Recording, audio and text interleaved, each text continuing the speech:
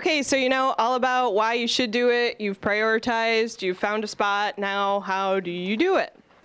First, I, I was asked to speak a little bit about programs. Um, I will just say there's a ton of programs that would support buffer implementation on all different types of land use. There's a lot of different types of federal programs, and then all the federal, federal bureaucracy that comes with those programs. There's a lot of different types of state programs, and again, then you deal with state bureaucracy, but maybe it's a little bit easier than federal bureaucracy.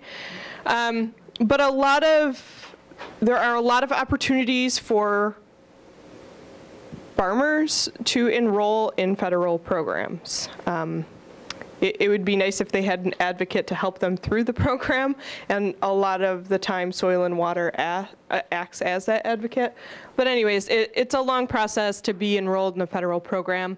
Um, but a lot of those programs do um, potentially offer incentives, sign-on bonuses, rental rate, you know, per year they get X amount of dollars. There's a lot of great things about the federal programs if you get through the bureaucracy.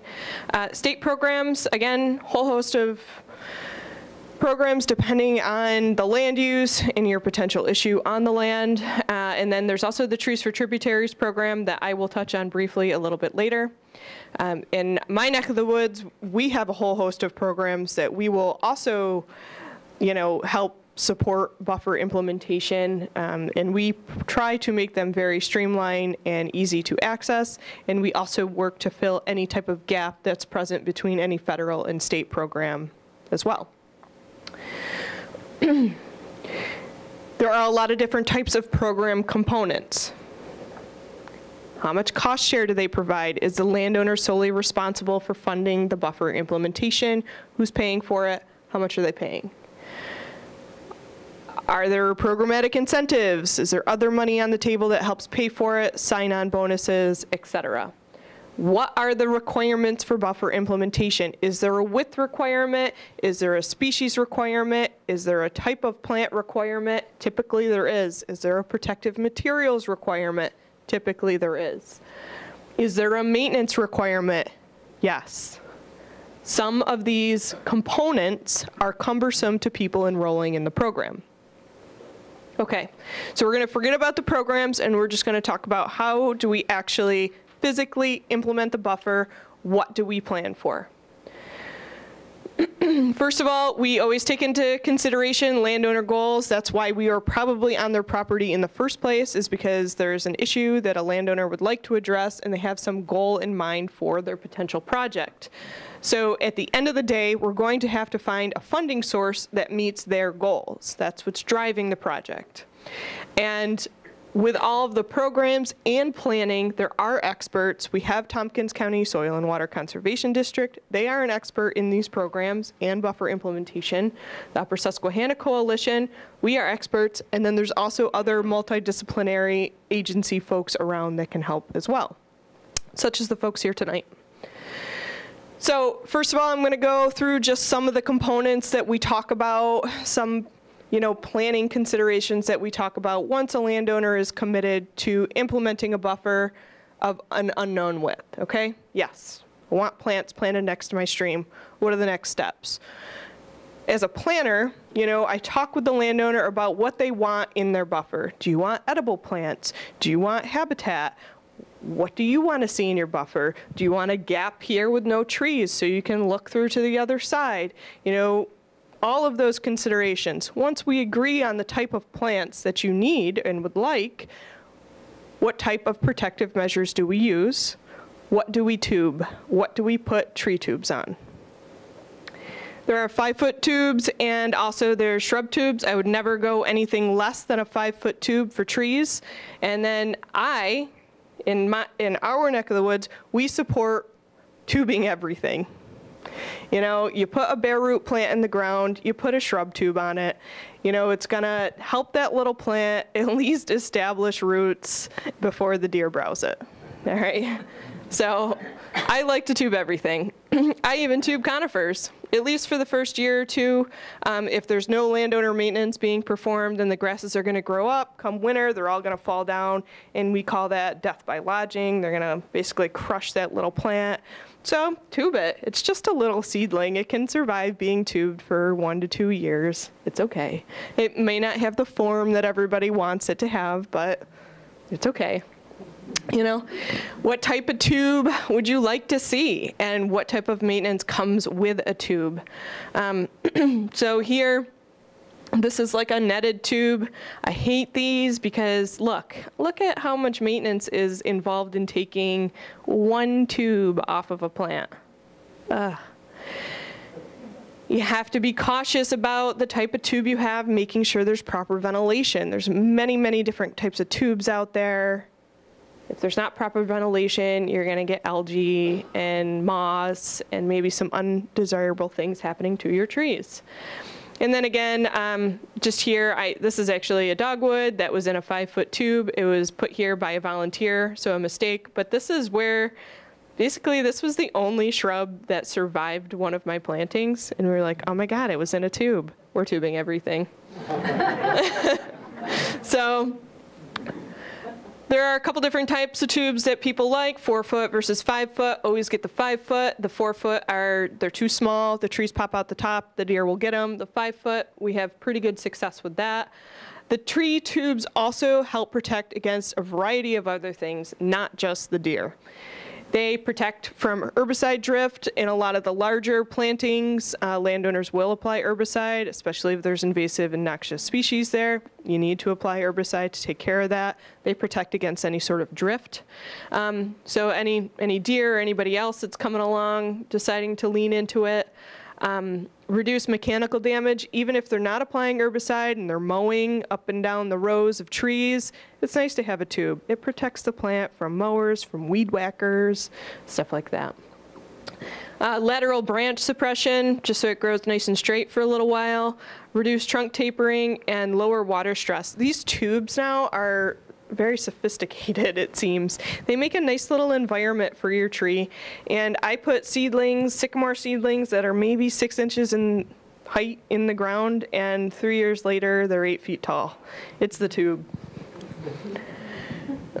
so tree shelters, protected versus unprotected. Uh, basically, this the, this is from um, some Stroud Water Research, Stroud Water Research Institute research basically what we're saying here is that tree shelters um, lead to more survivability and faster growth than unprotected seedlings. So seedlings with tree shelters grew 21 times faster than unsheltered seedlings. And they're not just growing like straight up without any girth, they definitely have girth as well. It's a very nice um, system. Weed mats. Um, you know, this is something that a lot of other that a lot of programs require. They require a weed mat. There are multiple different kinds. This mat here is called a VisPore weed mat, and it is a type of plastic. There's also coconut fiber weed mats. I find all types of weed mats to be relatively ineffective, or maybe they're effective for a growing season, and that's it tube everything. Save your money, tube them, don't mat them. You know, so this is after, you know, I plant in spring, comes winter, everything falls on it. I come back next spring to check. This is what I'm pulling off of a mat. So it was literally effective for one season. And these are photodegradable. And if they're not getting any sun, they're not going to degrade. So this is just essentially what's sitting underneath and that just doesn't sit well with me. That's why I personally don't recommend them in many situations. They definitely have applicability in some cases, but for the most part, they're cumbersome to implement, and then they don't really prove to be all that effective, especially if you want to save your money and just tube everything. Mats, uh, sometimes the question is, can you actually get the staples in? Coconut fiber mats, getting a staple in there is difficult. Um, obviously, a two-year-old cannot do it, but um, like you need a hammer, right? That's a lot. And then sometimes you just can't put a weed mat down because your site's all rock.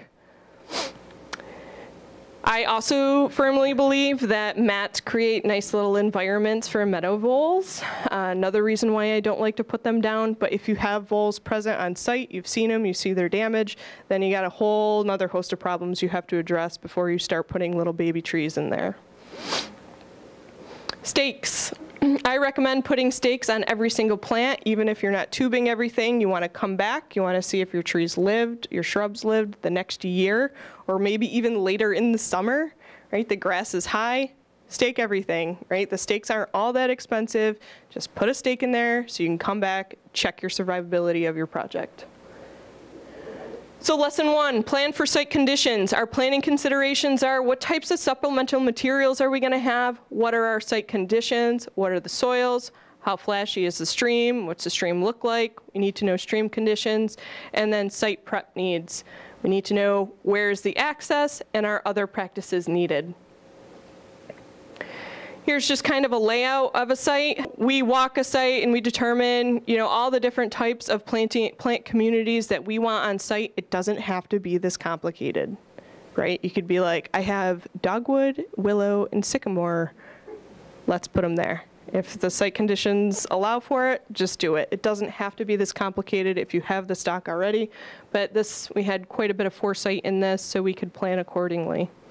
So we have a nice layout, we have our access points, there's our species composition list for all the different areas that we've identified, you know, our windbreak areas, our flood tolerant species areas, our small trees, and our shrubs. Are there other project needs before we plant the buffer? Do we need to remo remove or replace culverts? Are there stream bank stabilization issues? Are there head cuts? You know, things that we need to address before we go ahead and plant plants. Those need to be addressed first. Buffers go in when you're pulling out of a project. Lesson two, site prep. All sites need it. Um, you know, and they could be mowed. All sites can use site prep. If you're doing containerized stock and you have a big project, you need to auger the holes if you have volunteers. Um, sorry, that threw me off. um, so mowing, uh, in this case, you know, we needed to do several rounds of herbicide application. So planting this area is at least a year or two out. Uh, so you need a timeline and you need to determine your site prep needs, who's going to do it, what size equipment do they have, how do they access the site. Here, uh, this was the same layout that I showed you just a bit ago. Uh, we had containerized stock here. We had an access point that we were able to get a mower in. We put the fence in first to exclude all the cattle from the stream, and then we went in, and we mowed areas, came back through with um, this piece of equipment and augured the holes. And who's augering your holes? Is it the guy who put the fence in? who is it? Like, do they know that you're planting plants that are in a container that's only a foot deep? We do not need three foot holes. Do they know the spacing of the holes? You need to go through maybe the site first and you need to put paint marks everywhere a plant is gonna go. You know, you, or in this case, I painted, I went through and I painted every location that a plant was gonna go and then we still had somebody there pointing to those spots to say, dig here dig here, you know, and you're going too deep. You're not going deep enough. So here's prep. Uh, if you're doing a volunteer planting, we still have to, you know, lay out the materials. We have to have everything really laid out as simple as possible. So here I had buckets of different types of plants, and on each bucket I had a label, and I'll just read one to you. Here, this is zone one, and I had them laid out on the property. Zone one, not directly next to stream, no shrub tubes. And then I listed the species that are present in there. You know, so I have the type of species, where you're putting it, and what type of supplemental material or protective material goes on the plant. If you're doing a volunteer planting, this is what needs to be done. These are professionals we've hired to come out on site and do projects. They need no guidance. They basically go through with you know, and mark everything themselves. They have tape that's, you know, hundreds of feet long and marked with flagging every 15 feet or every 12 feet or every 20 feet, whatever spacing you want your plants. Another volunteer planting site, we laid out the plant, the mat, and the tube and the stake next to every single spot that we wanted to plant. Same thing here. So it was easy for volunteers to come through and do the work that they need to do. Lesson three, we need to secure planters. Who is actually going to put this in? You know, I don't know the size projects you have in mind, but you know, if you're planting probably more than 100 plants, you're going to need more than just you and your spouse or child. you know, you're going to need someone to come along and help you. So you need to secure planters. I love hiring planting contractors. It makes life so much better. They know what they're doing, they do a good job. And then for years to come, you have less site maintenance because you've made that initial investment. They put the tubes in correctly, they put them into the ground, the stake goes far into the ground, they're strong people, they do it all day long. It's great. But volunteers are also great. They smile, they chat, they, you know, it's, you know, they're good, good fuzzy feelings, you know. And I like how my last technician said, and make sure they can plant a tree a lot of volunteers do not know how to plant trees. You know, we have roots sticking out instead of the tips. You need to teach them beforehand. Plan for this, teach them how to plant a tree. Considerable, much more time spent on volunteers. Feed, feed your volunteers. Um, happy volunteers equals a successful project. Question, Yeah, you got those in straight rows, yes. Makes it easy for maintenance. boring, Boring makes it easy for maintenance. Makes it so the landowner might actually do maintenance. You make it too hard, maintenance is not getting done. Again, here's my professionals. They show up, they have all the materials. Whenever we do volunteer projects, I get the materials. I lug the materials to the site, I lay out the materials. It takes two days of me prepping the site for a volunteer event. When it's a contractor that I hire, I say, I want these plants and I want them to be this big. I want these tubes, you bring it all. I show up when they show up, I make sure they have what we want, and then they go to work. Lovely. Lesson four, if you're doing a volunteer planting, uh, post, post planting, sweep your site for tools and unplanted areas. Lesson five, plan for and perform maintenance. Keep track of survival. These are volunteer planted areas. You need to go back every single year and perform maintenance. Tubes fall, um, and so your trees are growing wonky. You need to perform maintenance, especially on volunteer planted areas. It is essential. Um, and keep track of survival. Very important. That way you know, do I need to go back and do a replant? A, a successful project equals a forested area, right? If you don't have a forested area, you do not have a riparian forest buffer. So you need to keep track of survival so you can ensure that the area will be forested, that there will be canopy covered. Management tips, you need to provide landowner with checklists, maintenance calendars, emails, phone calls, whatever you need to do to make sure that the landowner is aware of their maintenance requirements for this area. You need to hold their hand. And last, I'll just talk to you quick about a few projects. Um, this, and yeah, I actually have two projects here, and they both were performed using the Trees for Tributaries program. This is probably the easiest program to utilize. In the Upper Sus watershed, the coalition, myself, we coordinate the program, but if you're outside the watershed, you have to deal directly with the state for funding. But it is a very simple program. The program provides materials, any type of material you may want, plants, and technical assistance typically you can get by DEC personnel or Soil and Water Conservation District personnel. There is an application. It is a front and back piece of paper. The front has project, you know, information. Who's the landowner? How big is it? How many trees do you need? Pretty simple stuff. The back of it basically just requires a landowner signature. It's a beautiful application. There are a few requirements. You cannot plant on FEMA buyout lots. Um, you may not be able to plant on a pond or a lake that does not have a distinct outlet on site. And you cannot plant on the opposite side of the road. All from personal experience. um, I'm just going to skip right through this, but again, I just want to point out you can get all different types of materials. The tree tubes, you can get, I buy foot and a half shrub tubes, you can get VisPore mats, you can get coconut fiber mats, you can get short stakes, you can get tall stakes, you can get basically anything you want through this program. You just provide them your budget. To show you a little bit about what we've done with the program over the years since we started with it in 2016, um, we have requested, you know, the first year, a lot of plants, and then we had we still had those plants the next year. So, but um, so we're kind of leveling off, and we're trying to only get 5,000 plants per year. But what I really want to show you is the number of plants per project.